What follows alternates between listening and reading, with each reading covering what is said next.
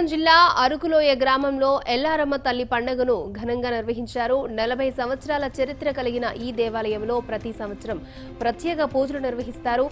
భక్తులు అధిక సంఖ్యలో ఆలయానికి చేరుకుని పూజా కార్యక్రమాలు చేశారు. అనంతరం అరకులోయ పురవీధుల్లో ఘటనలతో ఊరేగింపు నిర్వహించారు.